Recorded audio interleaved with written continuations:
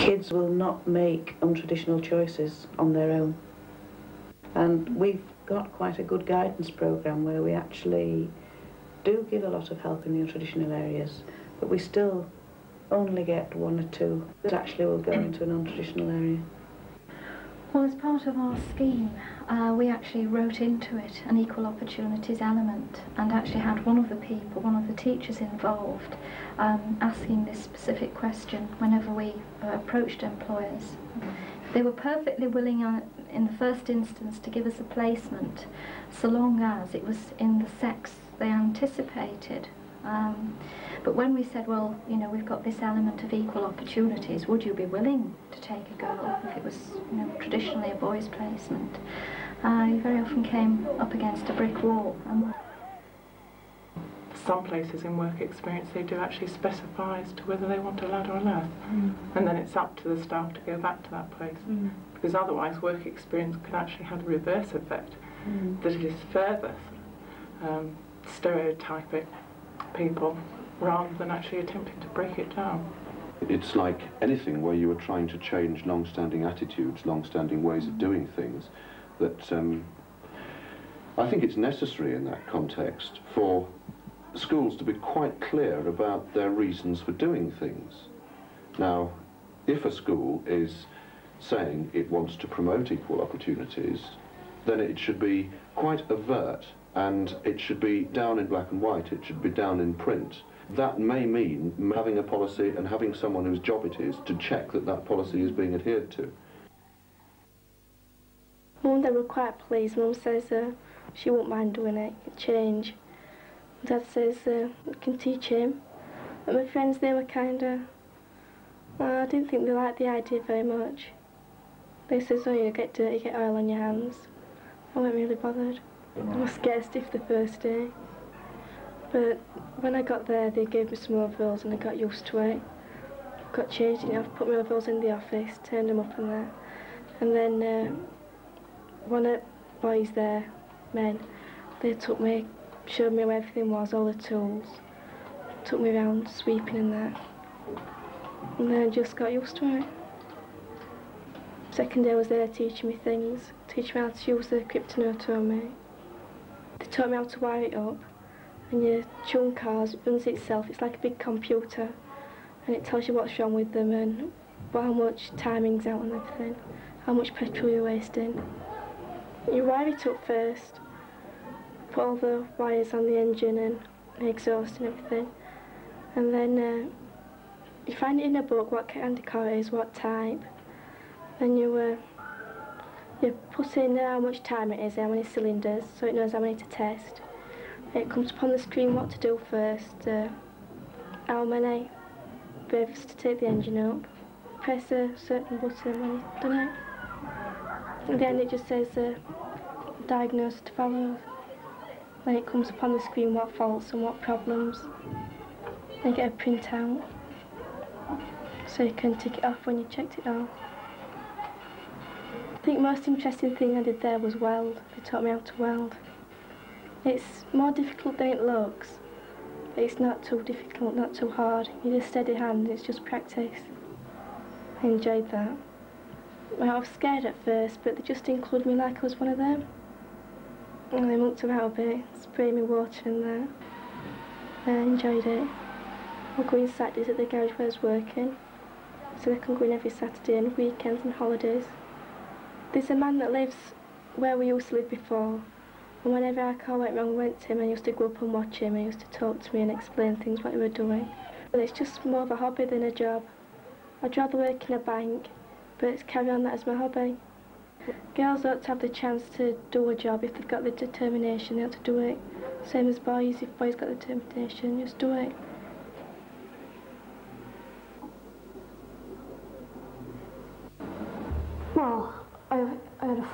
Worked in a flower shop and he said it were alright.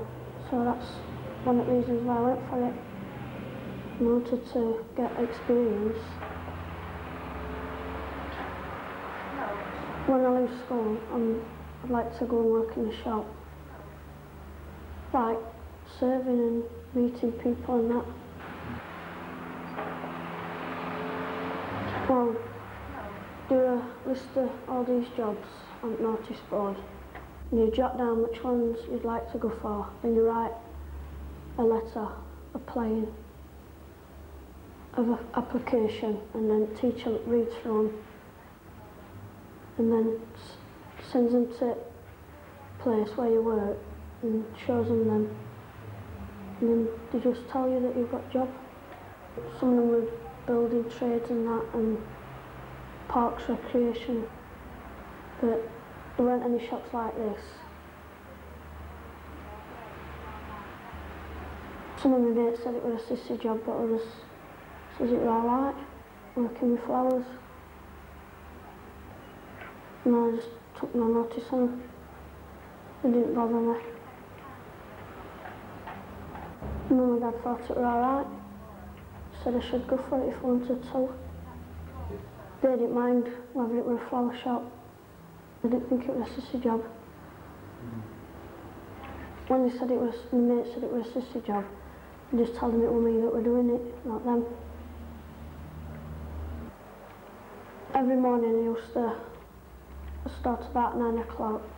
I used to go out delivering till about one o'clock.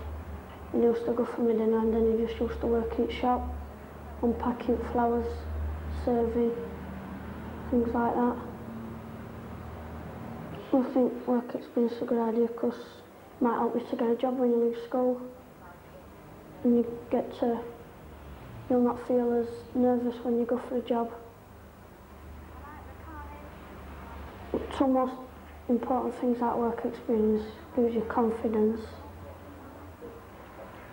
Just get used to working. I don't think there's jobs what boys or girls can. They should, they should let them do any, uh, whatever kind of job it is. I think the reason that most people don't go for different type of jobs and lessons is because they think they'll be on their own because nobody else will do it with them. I'd just say that if a, girl, if a girl can do it, why not let her do it? And for boy's going after a girl's job and he's capable of doing the job, why not let him have it? I think that everybody ought to do what jobs they want and employers ought to be willing to let them do them. And schools ought to be, ought to encourage them. If a boy or girl wants a job, they ought to go for it without anybody stopping them, their friends or their parents. If they, if they really want it, they shouldn't take no notice of anybody else and just go for it.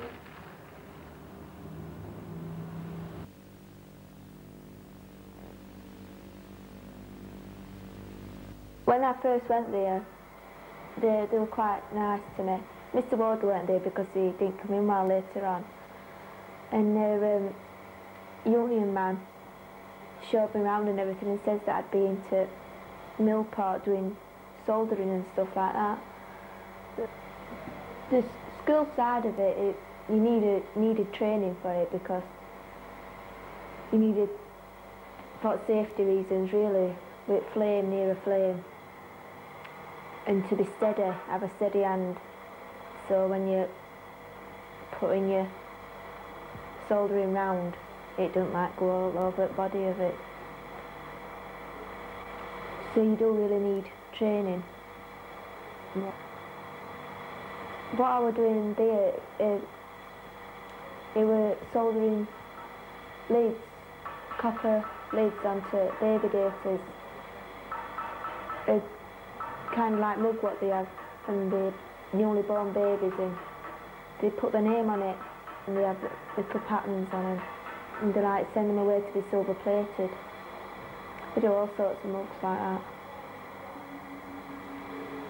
But when Mr Ward would come I was sent into back to wrap up, which I didn't mind because I thought well I'll do a bit more soldering later on. So I got three weeks.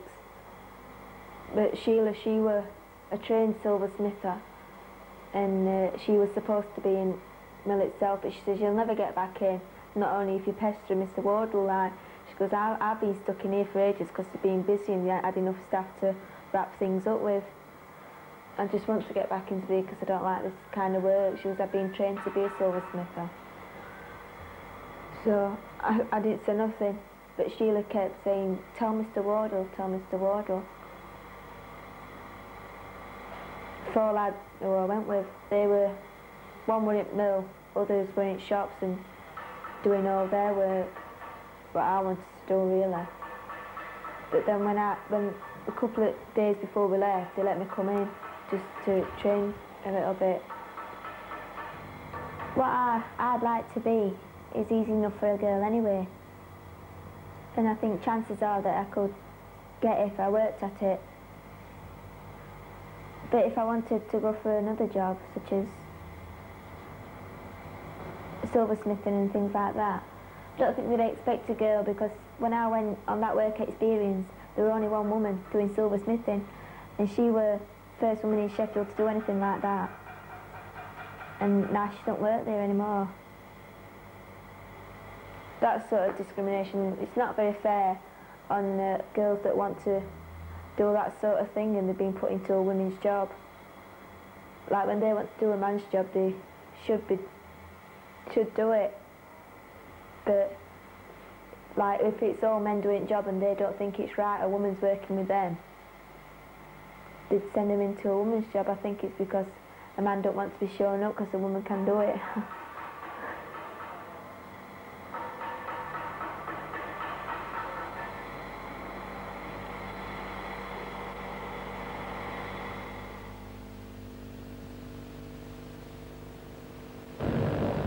Well, most thing I liked about it, well, at first, the sweeping up, I didn't like anything like that, because nobody does. But when I got on to trying at blow drying, things like that, I wanted to get on more uh, things you need experience for. That's why I want to carry on. I want to get on to cutting. If I can, if I'm good enough. When we first went on work experience, it was sort of like a real job. We had to work out everything for ourselves, like where to go, what bus to catch, how to get there. When I got there, I got helped out a lot. They told me what to do, so I never stuck for things. There was something to do. The people we were working with were fine. They, they treated us like adults. They didn't push us around so much. They told us when they told us what to do, we were always pleased and stuff like that. Not get it done. So we're a lot happier, a lot better like that. I found out how much I enjoyed it, how much I enjoyed working there. Then I just decided I wanted to be an hairdresser. The other person I worked with, Nicola, she didn't want to be an hairdresser really. She uh, wrote to a childcare place, she wanted to go there. Well, when you're on work experience, what I did, there's only a few jobs for a few persons, so if there's only three jobs vacant and six people wanted them, these other three people who couldn't get a job get sent away to somewhere they didn't want to go. And that's not, that's not right. If what's use of going on work experience if they're going somewhere they don't want to go?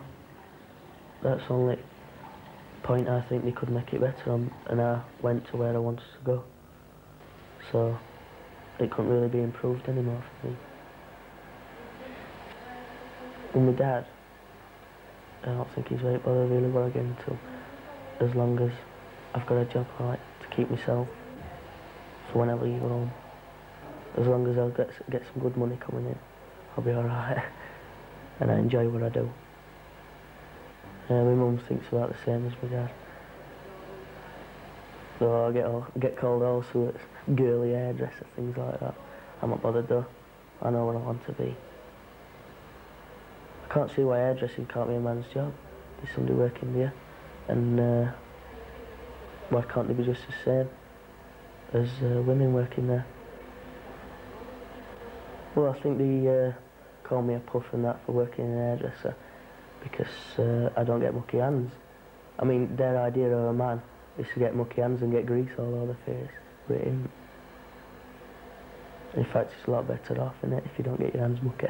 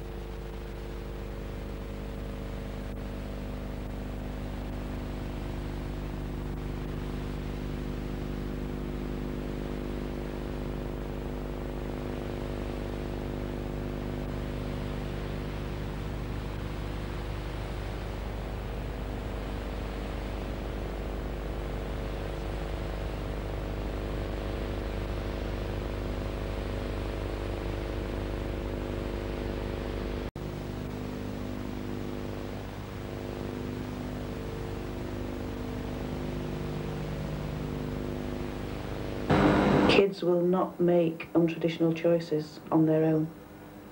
And we've got quite a good guidance programme where we actually do give a lot of help in the untraditional areas, but we still only get one or two that actually will go into a non-traditional area. Well, as part of our scheme, uh, we actually wrote into it an equal opportunities element and actually had one of the people, one of the teachers involved, um, asking this specific question whenever we uh, approached employers. They were perfectly willing on, in the first instance to give us a placement so long as it was in the sex they anticipated. Um, but when we said, well, you know, we've got this element of equal opportunities, would you be willing to take a girl if it was, you know, traditionally a boys' placement? Uh, very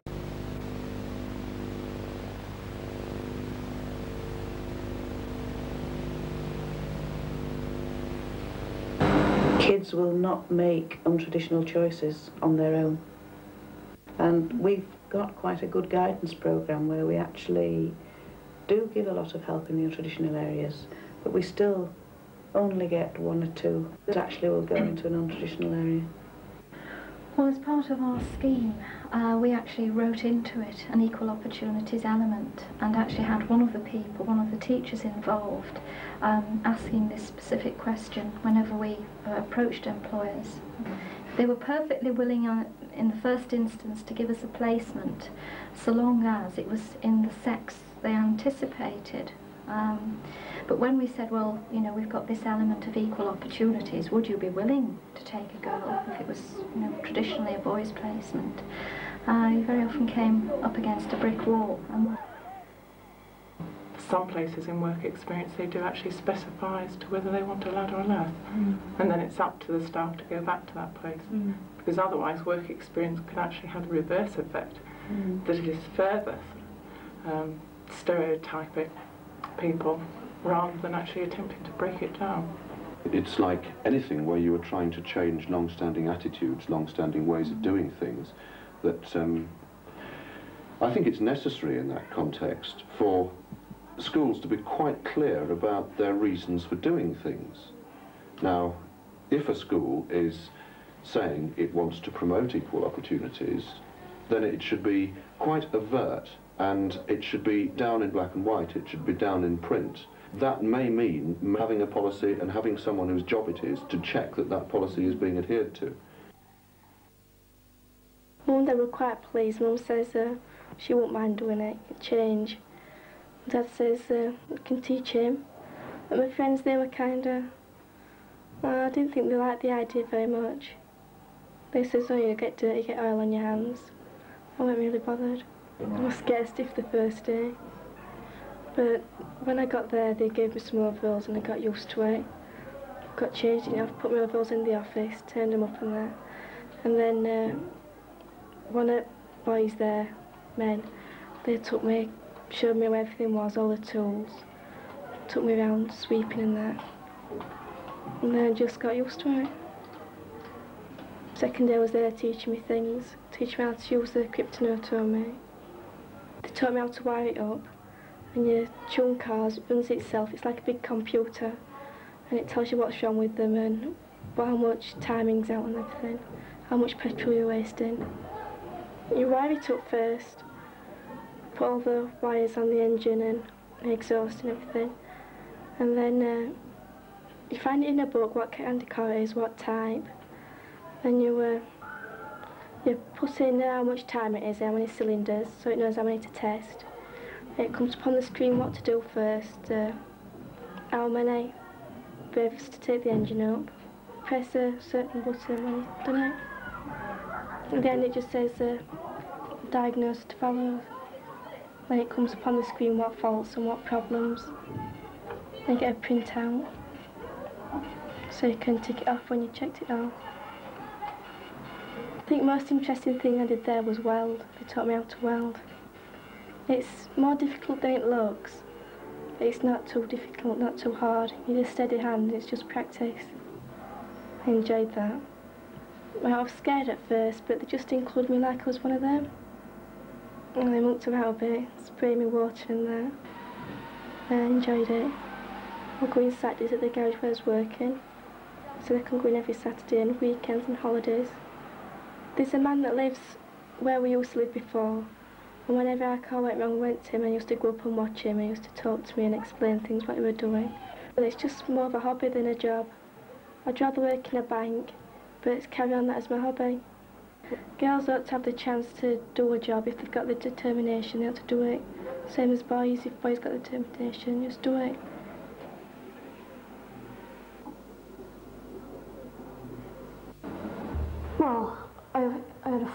Worked in a flower shop and you said it were alright. So that's one of the reasons why I went for it. I wanted to get experience.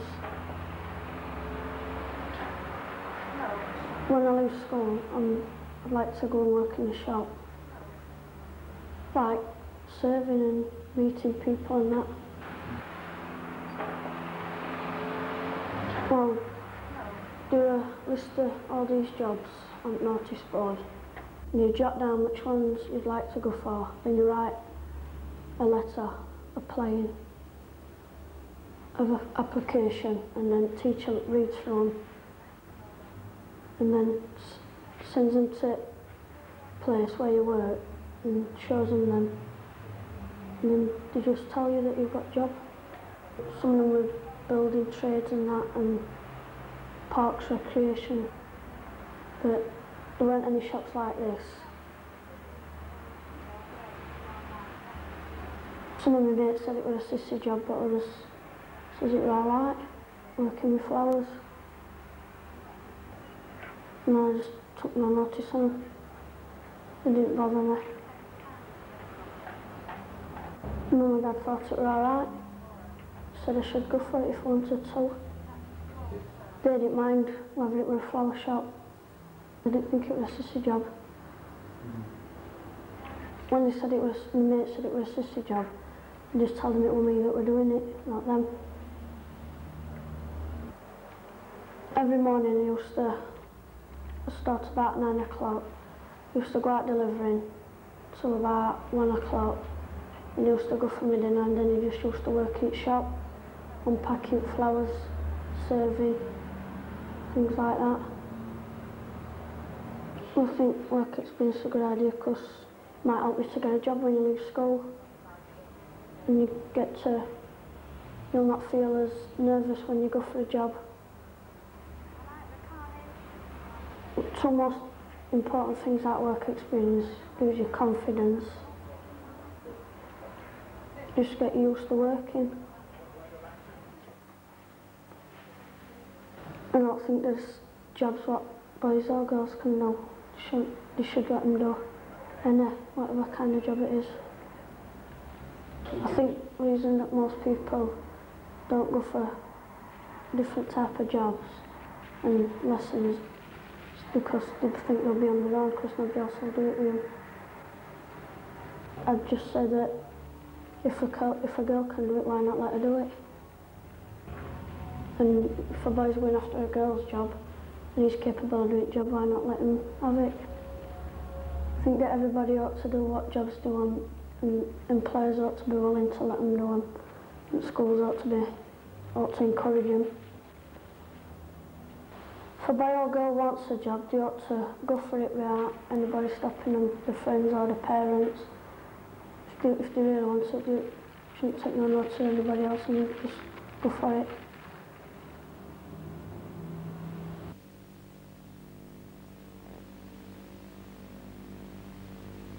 When I first went there, they, they were quite nice to me. Mr Ward weren't there because he didn't come in well later on. And their um, union man showed me around and everything and says that I'd be into Millport doing soldering and stuff like that. The, the school side of it, it you needed needed training for it because you needed for safety reasons really with flame near a flame and to be steady, have a steady hand. So when you're putting your soldering round, it don't like go all over the body of it. So you do really need training. What I was doing there, uh, they were soldering leads, copper leads onto baby daters. Kind of like mug what they have from the newly born babies in. They put the name on it and they have little patterns on them. And they like send them away to be silver plated. They do all sorts of mugs like that. But when Mr Wardle come, I was sent into back to wrap up, which I didn't mind because I thought, well, I'll do a bit more soldering later on. So I got three weeks.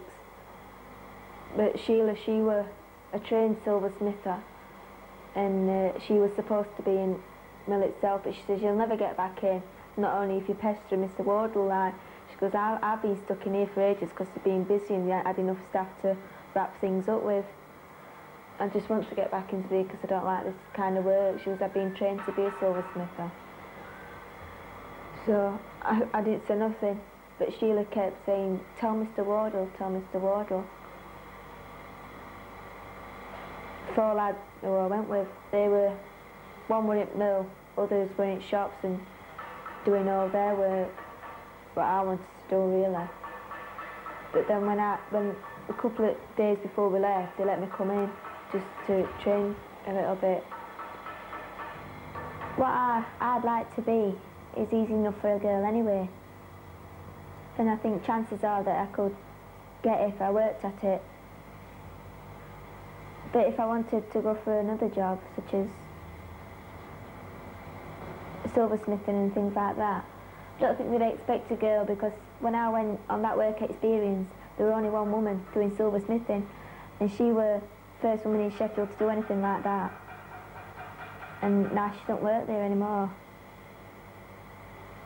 That sort of discrimination, it's not very fair on uh, girls that want to do that sort of thing and they've been put into a women's job.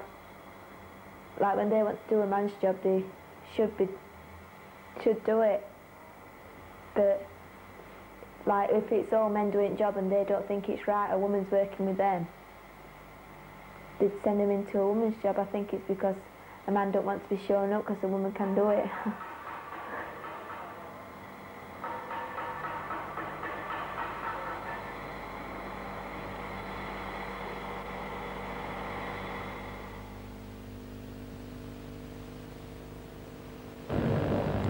Most thing I liked about it, well, at first, the sweeping up, I didn't like anything like that, because nobody does.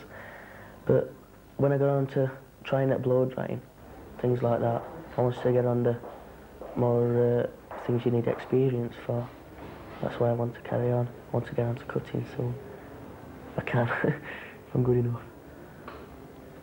When we first went on work experience, it was sort of like a real job. We had to work out everything for ourselves, like where to go, what bus to catch, how to get there. When I got there, I got helped out a lot. They told me what to do, so I never stuck for things. There was something to do. The people who were working, we were fine. They, treated us like adults. They didn't push us around so much. They told us when they told us what to do, we were always pleased and stuff like that. Not get it done. So we were a lot happier, a lot better like that.